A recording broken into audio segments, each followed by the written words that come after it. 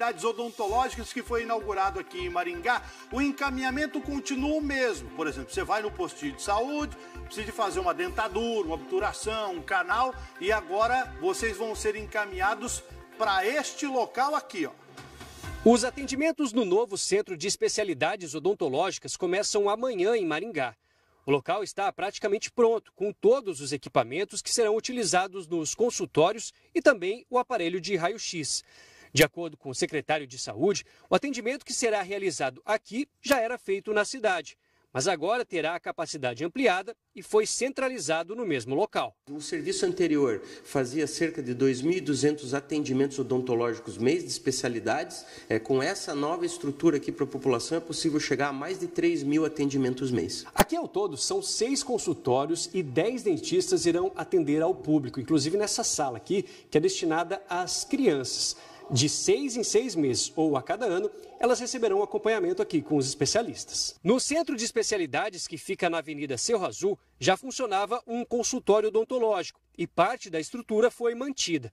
Vale lembrar que para receber o atendimento com o especialista, será necessário que o paciente tenha um encaminhamento. Este aqui não é um atendimento de porta aberta, que se diz a pessoa chega e é atendida. Ela vai para o UBS, lá é analisada sua condição. Se for o caso de uma especialidade odontológica, ela vem aqui para esse serviço de primeiríssimo mundo. Tá aí o secretário falando, é um novo sistema. Deixa a imagem lá. É um novo, um novo ambiente onde foi montado para atender as pessoas. Por exemplo, você vai precisar fazer uma, uma uma dentadura, aí precisa tirar o raio-x. Então, nesse ambiente já tem o raio-x, já faz tudo num ambiente só. Ah, precisa fazer o canal, salsicha, ou fazer obturação. É lá também, entendeu?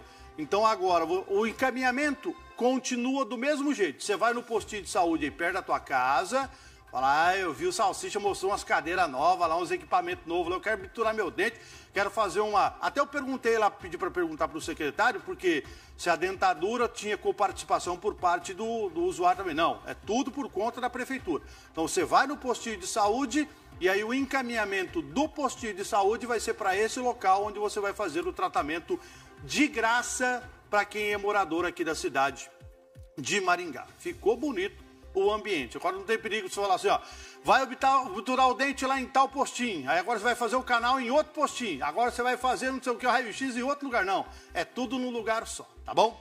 Agora uma perguntinha para vocês.